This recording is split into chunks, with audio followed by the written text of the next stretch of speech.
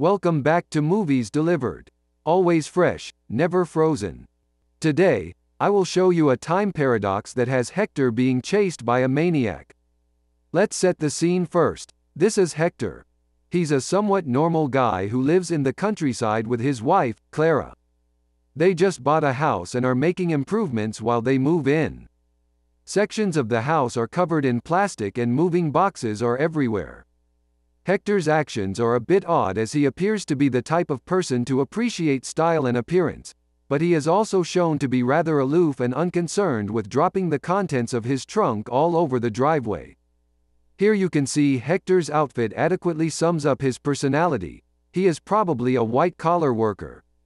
He is wearing dress slacks, a jacket, medium brown loafers, and a mismatched dark brown belt. His clothes do not fit correctly and were likely bought off the rack. I have that same jacket in my closet. Hector's wife, Clara, is enjoying her country lifestyle and spends her time gardening or assembling furniture, among other housewife duties. As Hector is inside relaxing, the phone rings. Hector answers and hears someone breathing on the other line just before the call ends. He calls the number back. An answering machine picks up and Hector leaves a message. As he is leaving the message, Clara startles him and Hector drops the phone under the couch, leaving it to record them making out. The two head outside to the backyard. Hector uses his binoculars to survey his new scenery while Clara is arranging furniture. In the tree line on the outskirts of the property, Hector sees something red moving. It looks like a piece of clothing. A moment later, he sees a long-haired woman removing her top in front of the bushes. Her face is covered in shadow, but he's got other things to look at. Clara interrupts to say she is leaving to get dinner. She takes the only car they have and leaves. When Hector looks back into the trees to find the woman, she is gone, but her clothes are still there. He walks out into the street to look for the woman. In the street, he sees a large trash can has been turned over and the trash has been scattered everywhere. A bike is parked among the trash near a dirt path that leads into the forest. As Hector approaches the top of the path, he sees the woman passed out and completely naked. Not one to be too concerned with the details, he throws a couple sticks at the woman then approaches. As he is peeping at her, a man in a black trench coat and a pink head wrap appears behind Hector and stabs him in the arm with a pair of scissors. Hector screams and runs away in pure terror. He sees a barbed wire fence and attempts to jump over it, but brings the fence down as he does, which also slams him to the ground, knocking him out until sundown. As the sun sets, Hector finds a building with a loud radio on inside. He breaks the window and enters the building, finding a strange drawing on the wall.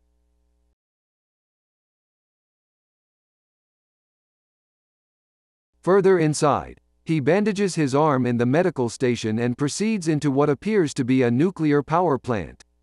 He finds a walkie-talkie on the desk and talks with the only employee who is still there working late. Hector tells the employee the events that led him into the building and that he needs help. The employee tries to call for help, but says the phone line is dead. The employee tells Hector to leave out the back door and head up the mountain to the laboratory at the top where the employee will be waiting for him. As Hector ascends the footpath, the employee broadcasts the masked man's actions to Hector over the radio, saying, he's coming up. Hector hurries into the laboratory at the top, where he meets the employee. The employee tells Hector that there is no lock on the door and that the safest place for Hector is inside the tank. A car approaches and the masked man appears in the window. Hector jumps into the tank and the employee lowers the lid. At this point, we have several questions that need answering. 1. Who is the masked man with the scissors and why did he stab Hector? 2. Why is the woman in the forest and what was the trenchcoat man doing to her? 3. Why was the trash can turned over with the trash scattered everywhere? 4. Why did the employee turn the machine on? We'll check back in on these soon. Just then, Hector wakes up and the tank's lid rises. He falls out of the tank, where the threat has seemingly disappeared and it's now sunny outside. In the yard, Hector uses his binoculars to look down the mountain at his home. Clara is gardening and there's a man there with her, dressed in the same clothes Hector was wearing when he got home. Right now, Hector is watching a replay of his life from about an hour before. The employee tries to explain to Hector that he has gone back in time about an hour. Everything that is happening now are the same things that Hector did before, only now, Hector is not the only Hector, he is Hector number two. In an effort to explain it further, the employee draws a diagram and sticks it to the wall. It is the same diagram Hector first saw when he entered the building. The employee says that as long as nothing changes in the timelines, everything will sort itself out. The employee asks Hector 2 to relax so that he can get the tank ready for Hector number 1. The employee then leaves to fill the tank with more fluid, which I'll call time milk. Hector 2 calls his house and Hector 1 picks up. Not wanting to change the timeline, Hector 2 hangs up. Hector 1 calls back and leaves a message on the answering machine. It's the same message that Hector 2 left on the answering machine before. Hector 2 hears his wife making out with Hector 1 in the voicemail message and gets angry. He steals the keys to a company car and leaves through the front gate. On his way down the mountain, he sees the woman from the forest riding her bike. Hector 2 stops in the middle of the road and gets hit by a brown van. Hector 2's car crashes into a tree on the side of the road, leaving him bleeding from a gaping wound in his forehead. He removes the white bandage from his arm wound and wraps it all the way around his head. As the white bandage turns pink from all the blood, Hector two realizes that he is the man in the trenchcoat with the pink head wrap that attacked him earlier. Hearing the commotion, the woman on the bike rushes to the side of the car to check on Hector two. He is awake, a little delirious, and his face is fully wrapped in pink bandages.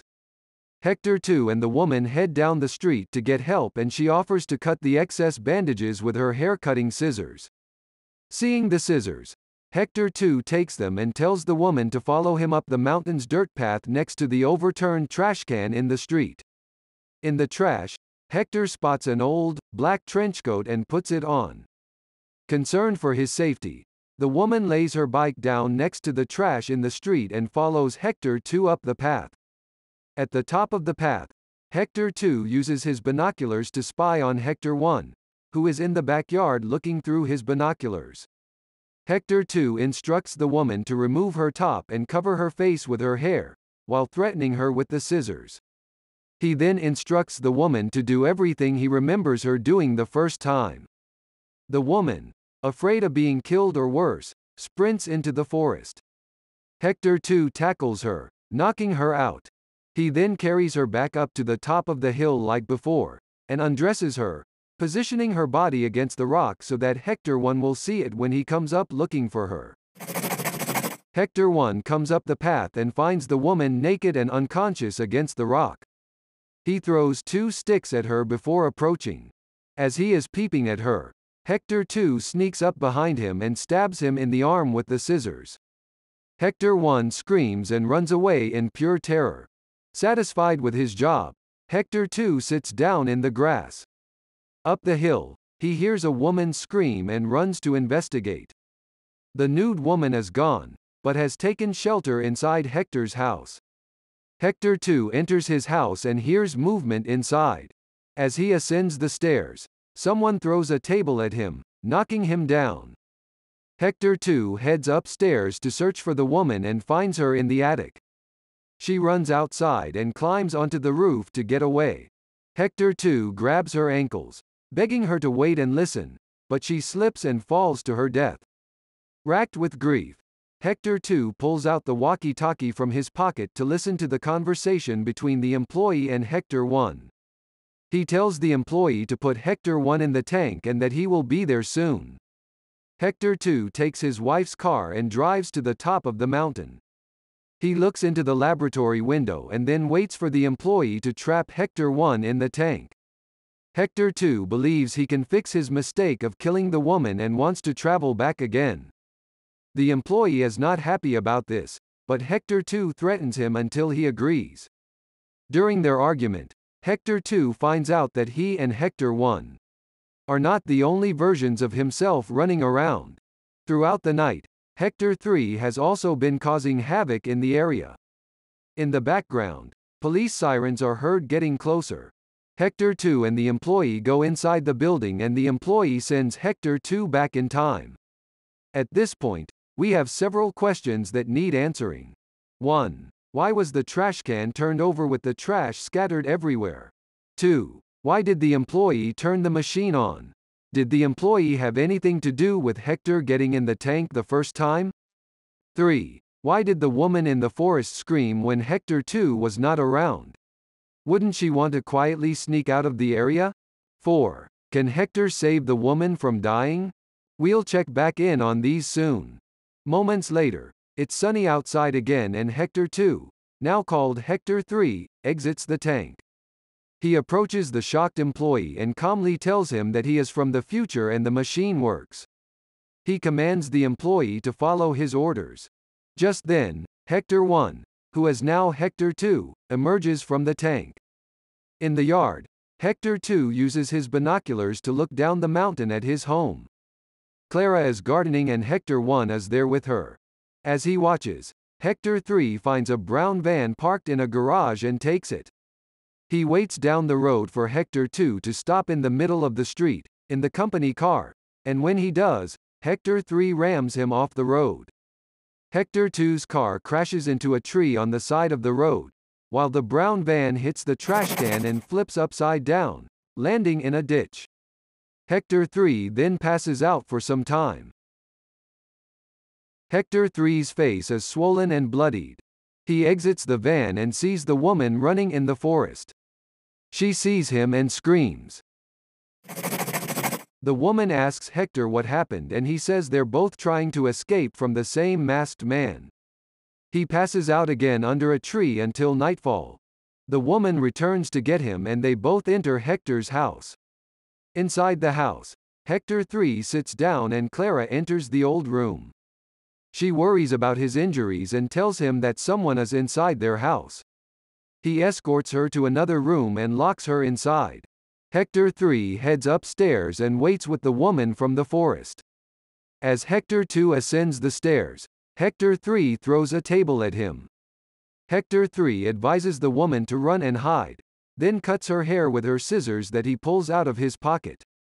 He tells her to run to the attic to hide, knowing that Hector 2 will find her. At this point, it seems like Hector 3 is trying to set up an alibi or even an escape plan. The woman runs upstairs while Hector 3 gets Clara out of the locked room. Both he and Clara sit in their lawn chairs outside and listen as Hector 2 kills the woman from the forest. Hector 2 takes Clara's car and heads toward the top of the mountain. At this point, we have several questions that need answering. 1. Who was the first masked man that stabbed the first Hector? If no one had time traveled yet, and we know that Hector 2 was the crazy guy with the scissors, who stabbed Hector the first time? What really caused the first Hector to run to the mountaintop and get in the tank the very first time? Something had to have caused Hector 1 to go to the top of the mountain before he time traveled, so what was it? 2. Why did the employee turn the machine on? Did the employee have anything to do with Hector getting in the tank the first time? The answers you need are just inside this tank. Step inside, won't you? Make sure to subscribe and turn on notifications so you can watch more videos like this. Thanks for watching.